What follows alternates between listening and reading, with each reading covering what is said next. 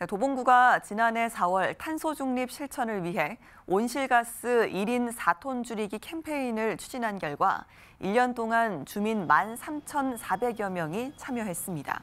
도봉형 탄소 중립 실천 캠페인은 친환경 보일러 설치와 음식물 쓰레기 줄이기, 에코 마일리지 가입 등을 주민이 실천하는 겁니다.